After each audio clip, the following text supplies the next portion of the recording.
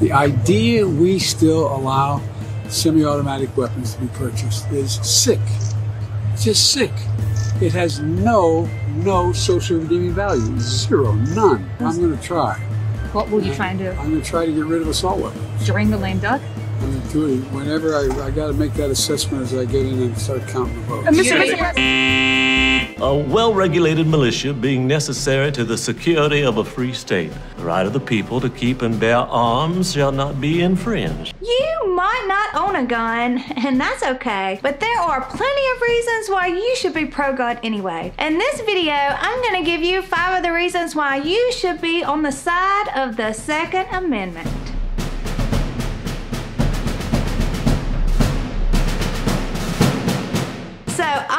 I am pro gun. Now, before you go getting all up in arms, pun intended, let me explain why. Even if you don't own a gun yourself, there are plenty of reasons why you should be fighting for the right to bear arms. So sit back and relax while I give you five of the best reasons to fight for your Second Amendment rights. Reason number one gun laws don't work. I was originally going to talk about a few cities, but I don't want to bore you, so I'm just going to talk about the notorious Chicago, who is known for their strict gun laws and high murder rate. In order to own and possess a firearm in the city, you must first obtain a firearm owner's identification card from the Illinois State Police.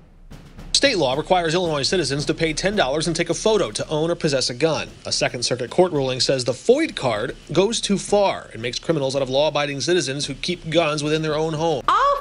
Firearms must be registered with the police department, and gun owners are required to undergo a background check and training course. Gun owners are also required to comply with Chicago's gun storage laws, which require all firearms to be stored in a locked case when not in use. So hopefully, if you are being attacked or threatened, the other party will let you retrieve your gun from its locked case. In 2014, the state of Illinois issued a concealed carry law for the whole state. However, as far as the city of Chicago, this basically only allows you to carry a concealed weapon in your vehicle. It's easier to tell you where you can carry the weapons than where you can't carry. You are not allowed to carry in any public buildings or any public places, including all parks. But I did find two exceptions. Licensees are not prohibited from carrying a concealed firearm while on a trail or bikeway if only a portion of the trail or bikeway includes a public park. The original law also prohibited the possession of a firearm on any public way within 1,000 feet of a public park. However, in 2018, the Illinois Supreme Court determined that the firearm prohibition within 1,000 feet of parks violated the Second Amendment, noting that this requirement would effectively prohibit the possession of a firearm for self defense within a vast majority of the acreage in the city of Chicago because there are more than 600 parks in the city. So you can't carry in any of the parks or where people are gathering in public, or if you are drinking or on drugs, or if you are involved in a drug deal, or if you're involved in gang related activities, etc. It actually states all of this in the law. But you can carry on the outskirts of the park. Since 2019, all assault weapons and high capacity magazines have been banned in the city of Chicago. Now let's look at the crime rates. The Illinois State Police law enforcement has clearly stated that uh, having fingerprints, you know, having universal background checks, having a FOID card system is what helps reduce gun violence in our state. NBC reports the following 2021 ended with 797 homicides and 3,561 shooting incidents. So 2020 ended with 769 homicides and 4,033 shooting incidents. However, the Cook County Medical Examiner actually reports a slightly higher number. Uh, uh, For our purposes, we compared violent crime data for June, July, and August over the last five years. This year's violent crime numbers are on par with the numbers in 2019. That's after an uptick in 2020 and 2021. This Labor Day weekend, in particular, the number of shootings were down, but the shootings this year were more deadly. We had 205 homicides recorded, for the months of June, July, and August this year, and that's compared to 277 during the same period last year. And the reason that gun laws don't work brings us to reason number two of why you should support the Second Amendment, and that is criminals don't care about gun laws. The precursors to the violence are illegal possession of guns. There's an old saying that goes, if you outlaw guns, only outlaws will have guns. And it's true. If gun laws stopped criminals, then we wouldn't need police. We could just arm everyone and let them sort it out themselves. But of course, that is not how it works. Criminals just don't care about the law. If they did, then they wouldn't be criminals. So why would they suddenly start obeying gun laws? It's simple, they wouldn't. In fact, stricter gun laws can even make it easier for criminals to get weapons. When law-abiding citizens are forced to give up their guns, there's a whole black market that opens up to meet the demand. So while politicians might think they're doing something to make us all safer, they are only hurting the innocent law-abiding citizens who actually follow the laws. Which brings me to point number three. People need to be able to protect themselves. It's a simple fact of life. When someone breaks into your home, you're generally not going to be able to reach for the phone and dial 911 in time. As the saying goes, when seconds count, the police are only minutes away. In a world where danger can strike at any time, citizens need to be able to defend themselves and their families. After all, Vulnerable people are typically the targets for criminals. Chicago police are warning about a rash of robberies targeting women in the Ukrainian village neighborhood. Three of them happened Friday night within a 30 minute period. Police say in each case, a group of men approached a woman and used physical force to steal her things. The men are described as being younger, between 18 and 21 years old. They were wearing dark clothes and ski masks. And crime is on the rise throughout the U.S. For many cities across the nation, last year will be remembered as a violent one. In 2021, Chicago saw more murder than any time in the past quarter century. 16 cities across America, stretching from Portland, Oregon to Jackson, Mississippi to Philadelphia, all experiencing a record breaking number of homicides. Some critics blame defunding the police as a reason for the spike in murder and other violent crimes. With calls to defund the police, which I think is the dumbest thing ever, getting louder every day, it only increases the vulnerability of the vulnerable. We need to be able to protect ourselves and our families, and the only way to do that is with a gun. So I will definitely be taking these. And what is the color of this pistol again? Snapper beige. I'll take it. I am a whopping 5 foot 2 and 100 pounds. Do you think I can defend myself without a gun? No. I'm a lover, not a fighter, but I will shoot anyone who threatens me and mine. Guns don't just protect us from criminals, but they also serve as a check on government authority by providing a deterrent against tyranny, which is number four of why we need to fight for the right to bear arms. Protection from government overrun. Adolf Hitler famously said, to conquer a nation, first disarm its citizens. Adolf Hitler and the Nazi Party rose to power in Germany in part by promising to protect its citizens from the threat of gun violence. And once in power, Hitler wasted no time in making good on his promise. The image of Adolf Hitler, the Fuhrer, leader of the Nazi Party, casts a long shadow over the second half of the 20th century.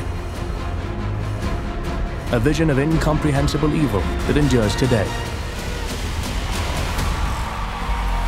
But behind this figure was an ordinary man, a master manipulator whose talent for public speaking and deep understanding of how to effectively use propaganda propelled him to ultimate power.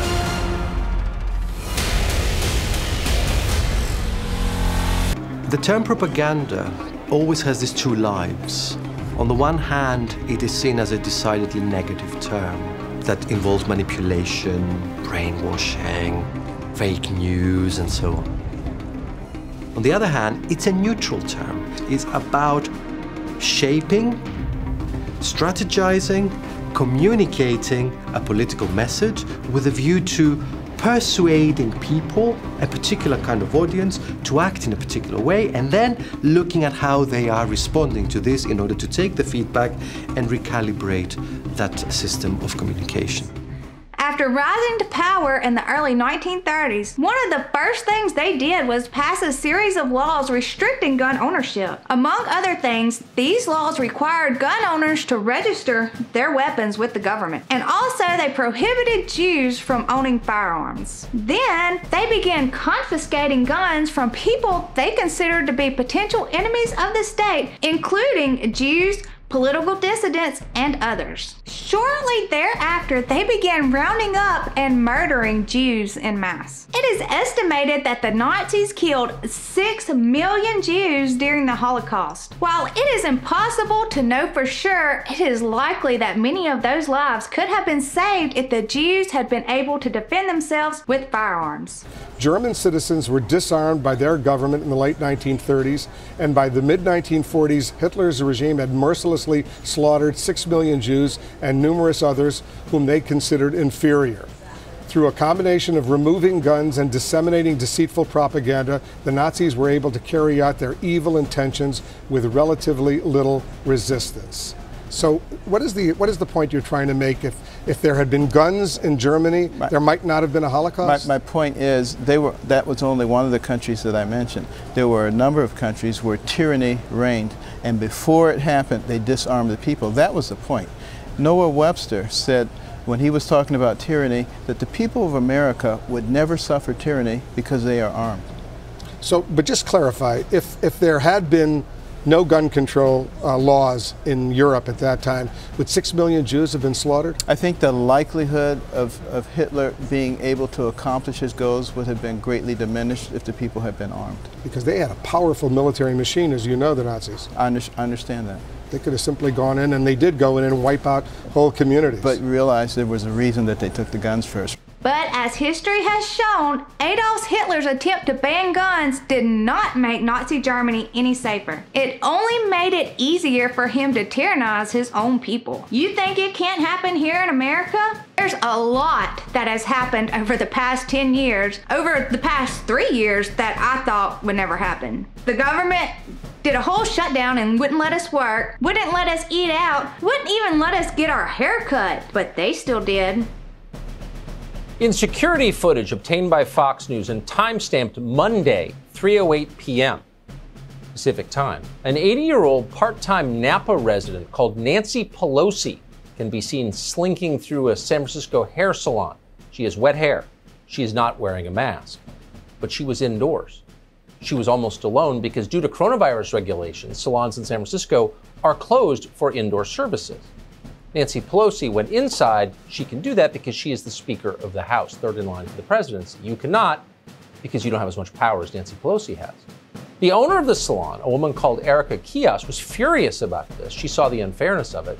She told Fox News that Pelosi's trip was, quote, disturbing and a slap in the face to people who were not allowed to work because of Nancy Pelosi. And it's funny, all the lawmakers that are calling for gun control and bans, guess what? They all have security that carries guns. Pretty ironic, don't you think? Reason number five guns don't kill people, people kill people. It's a simple statement, but it's true. After all, a gun is just an inanimate object. It can't load itself or pull its own trigger. That's up to the person who is using it. Ah, tell me, Jefferson. Do these amendments do adequate honor to your Constitution? Well, the one about free speech is excellent. But the one after that. What's wrong with it? I just think it's a little long. A well regulated militia being necessary to the security of a free state. The right of the people to keep and bear arms shall not be infringed, as long as people aren't being dumb asses about it. Sounds good to me. You don't need the dumbass part. Without it, how will future generations know that the right to own a gun doesn't give you the liberty to act like a dumbass with it? How will people know that they shouldn't leave loaded guns lying around the house unlocked, willy nilly? Or that you shouldn't be all cavalier when you handle one? Or that they shouldn't give a five year old a loaded gun to play with unsupervised? Girls, dinner's ready. How will they know these things? It's common sense. I mean, like, duh, nobody's gonna be that dumb. Now, enough of this boring amendment talk. Let's play pinata. Here we go. Whoa, whoa, So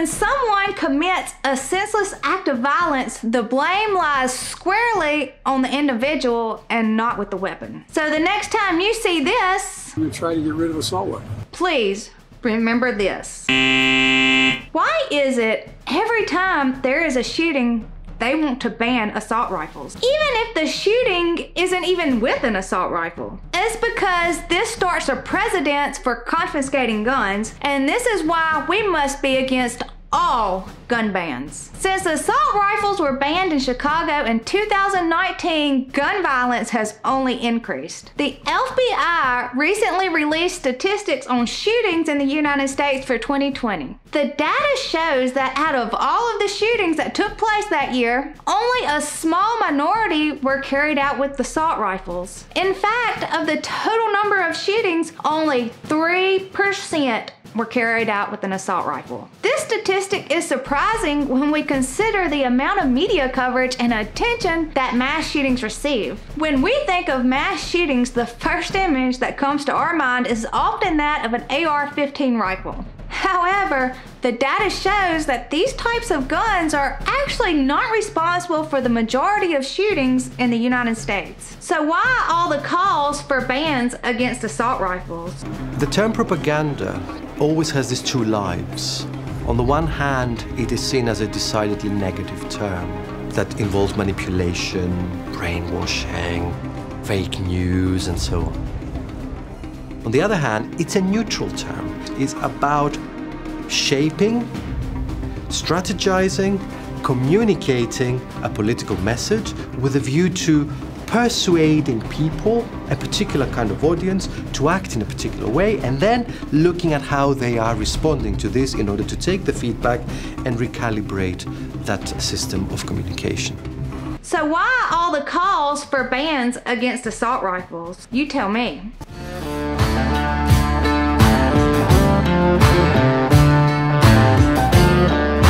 Leave me a comment down below and let me know your thoughts. Thanks for watching. Bye.